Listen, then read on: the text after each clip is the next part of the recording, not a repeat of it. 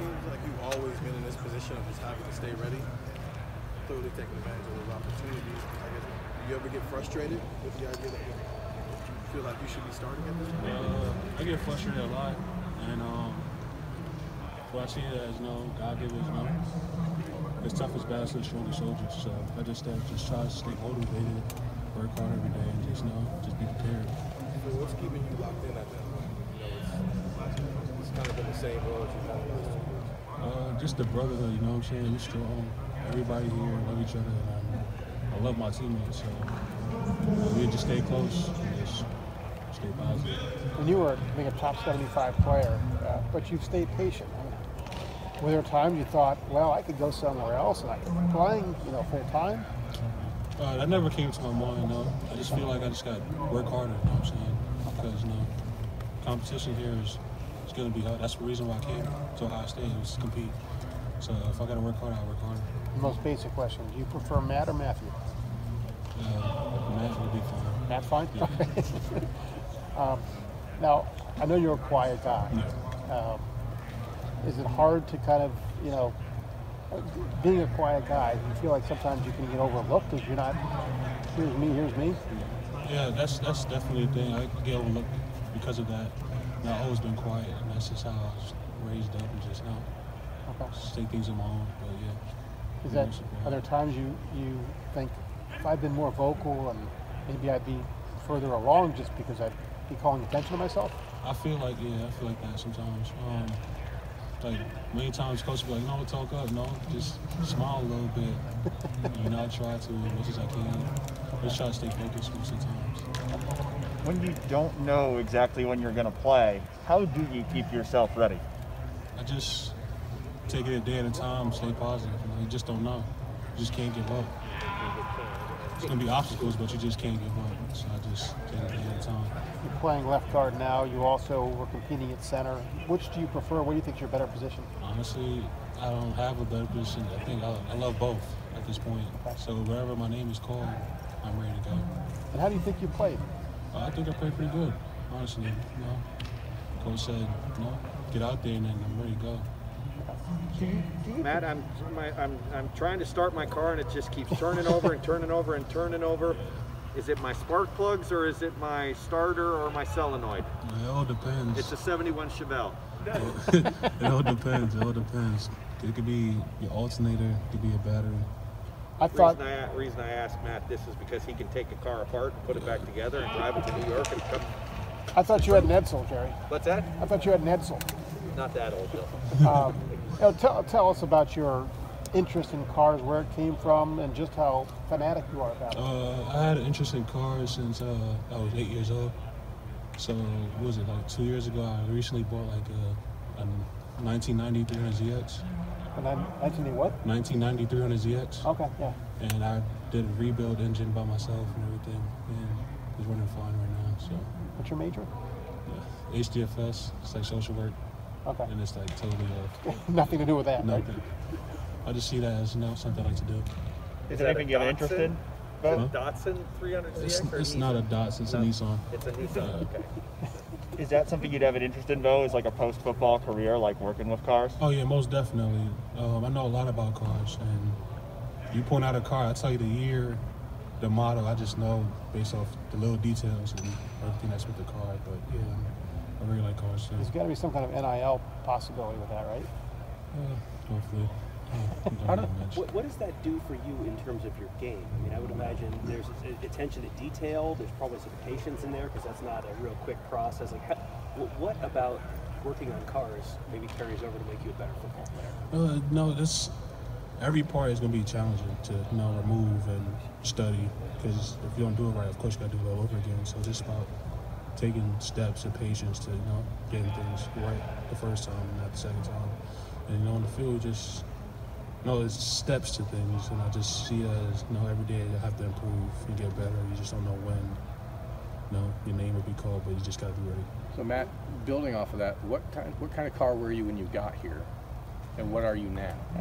Said car. Yeah, like what were you as far as the the rebuild, as far as the you know restoration of a vehicle? What were you as a player when you got here versus what you are now? uh, So you want me to compare myself as a car? Yes. Yes, I do. Uh, I believe you can do it. I think I'll say I was a Volkswagen Beetle, Okay. and now I could possibly say it's hard, but I'm, I'm big into cars. I could possibly say that I'm a, a 70 Chevrolet. Yeah. Now you're talking. With open headers. Yeah. Well, I mean, do, do your teammates kind of ask you about your interest all the time? Did you, do they ask you to fix their cars? Oh yeah, most definitely. A lot of teammates come to me and ask me to fix their cars. You know, free willingly, especially like Chris Olave. You know, he had problems with his car and then got it fixed. You fixed it for him? Yeah. Did you charge it? Nah. Then, then you must be a very popular guy. Teammate, yeah. How old were you when you fixed your first car? Do you remember that? Uh, that was really like two years ago. That's when I bought the, the Nissan. So right now it's running pretty fine. No problem. So I drove it to New York twice already. That's nine hours drive back and forth, so it's running pretty good. This is more recent. Yeah. And when you're, you know, preparing for a game, whether you're, you know, in the starting lineup or, you know, you're slated to be a backup that week, is your preparation the same? Does it differ at all? Uh, it is the same, you know. I just, you know, just try to lock in. You, know, you just enjoy the game, enjoy teammates, and you just motivate each other. You know what I'm saying? And every day it becomes not hard at times, but it's it's family. This is brotherhood, so you know we all bring together, have the same energy, and just enjoy. Who are maybe some of the people here who have helped you the most along your journey to this point? Uh, a lot of them is like Thayer Munford, uh, Nick Petit, you know, because I came in with Nick Petit, so we always talk about situations and um, just fix it, and then somebody you can always lean on. So that's good. How happy were those guys to see you get champion this week? Oh, very happy. They know that no matter what, I was gonna give my best, and I was gonna do very well. I showed in practice, and they had no doubts in their mind that I wasn't capable of doing it. What does that mean to you to just have that opportunity and then grade out as a champion and show that you can do it? it means a lot, you know, just to show everybody, show the coaches that they can lean on me, you know. My name is Cole, and that's I'm trying to build a trust. Until this year, maybe last year, this offensive line did not have the depth that it does now. So you would have, player of your caliber, would have been playing at almost any time. I don't know if that's something you've thought about and thought, you know, obviously you want to have as many good players as possible, but you would have probably played a lot more earlier if, if you'd been here three years ago, let's say. Yeah. Is most it something you've thought about? Uh, a little bit. I just thought like last year, you know, playing the big, the biggest three or the biggest two games, you know, really put me in a, a you know, um, a steady mindset to just you know competing at the highest level against great teams. You know, so I felt like that was a, a big accomplishment. And I'm sure- so, I'm sure you expected to start this year being one of the five. How disappointing was that? How'd you cope with that? Uh, it was very hard. Uh, it hurt a lot, but at the same time, we all a team. So just got to work with it and just keep trying. Just What, what Coach Stud, Stud or your teammates say to you about, hey, this is really not really about you. It's about the fact that Dawand has been so good, and we're going to do it because of that, not that you've failed. It was it was hard dealing with that. Um, many times, you know, you try to drop your head, but you got to pick it up. You know, but at the same time, I just try to stay positive. Just try. Ryan Day said on the radio on Monday, he said, you know, you were a guy that you honestly, you could have gone into his office and complained that you weren't starting. Did you want ever want to? There's times, no, but at the same time, I just feel like there's nothing better than home than here. So it's like, if I was to make that choice, it's like where, you know, just don't want to make another step to something that would be worse, and just improve. really. So even if you're not a starter, this is still where you want to be. Yes, Did it add to your motivation? it, it did. You know, it just helped me build what's inside. You know what I'm saying? Just it's gonna be obstacles, and I just gotta face it. You know what I'm saying? Just gotta work harder. You know? Stay positive, just work harder. So. What stands out about Tyleik Williams on the inside as a, as a young guy in the interior uh, going up against him? Oh, he's pretty good. Um, as you know, freshman, he comes on the ball quick and he has technique, and that's great about him. Like we always compete, and he beat me, I beat him. You know, and we just get better every day. That's one thing, and he's doing great.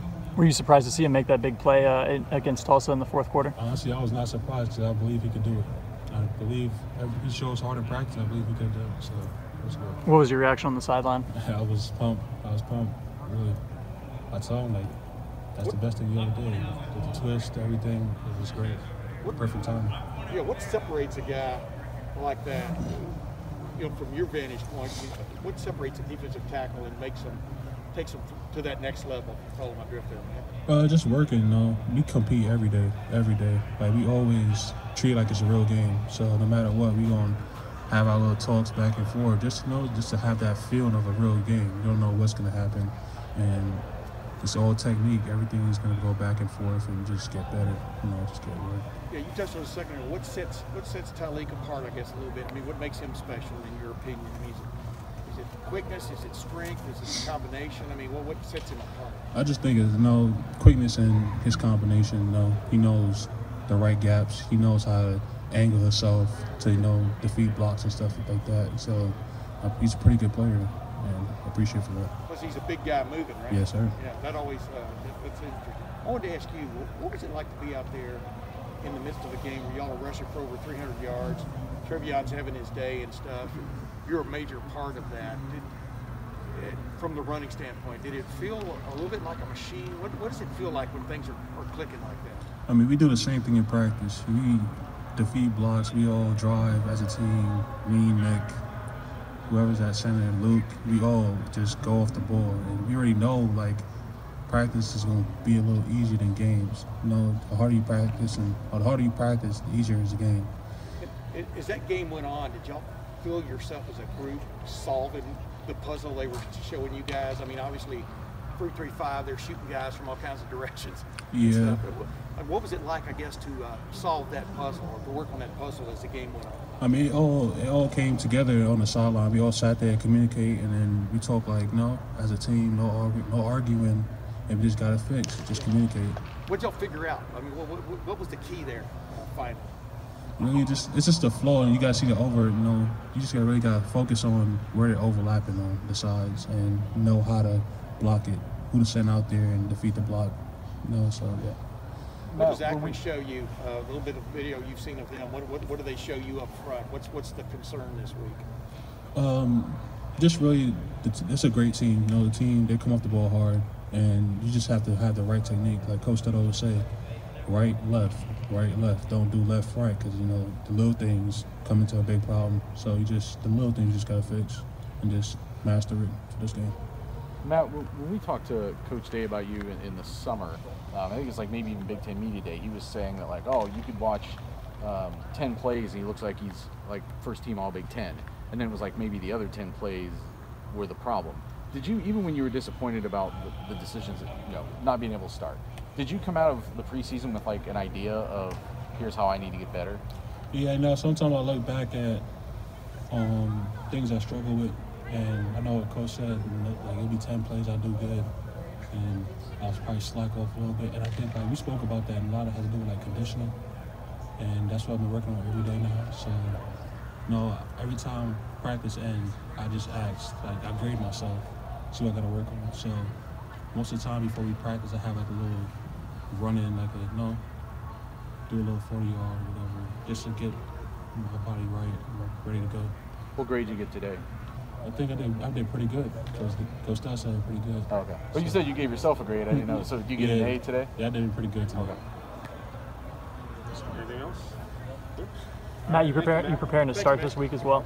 Uh, yeah, I am prepared. Um, just staying locked in, watching film with my teammates, and I'm all prepared. honestly. Have you been told you are the starter this week? Uh, not really, but I have an idea. Hey man, how how important? I mean, obviously you guys are. Uh, you guys did a very good job at like you know creating holes for TreVeyon last week, getting holes for that run game, even through the uh, lack of consistency with Aragon and things like that. But I'm curious what the role has been, or what you've seen from kind of those outside pieces, from say the wide receivers, from the tight ends, those guys that have kind of helped you guys out to create the space necessary for TreVeyon to get those home run runs, I guess. Uh, talking about the tight end and the receivers, uh, I think they do a pretty good job. And most of us, we mostly talk about just blocking. You know, Now, every time you go out for the pass and they block, and I think they do pretty good. just blocking. Does it, does it make it easier for you guys? it really does Yeah. at some point. It really does. So most likely, you know, if you run a stretch or whatever, you want somebody to block on the outside. So yeah, it's pretty good.